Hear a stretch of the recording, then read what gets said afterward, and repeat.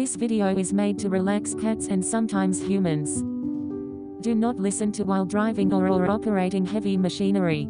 Play before bed or to take a cat nap.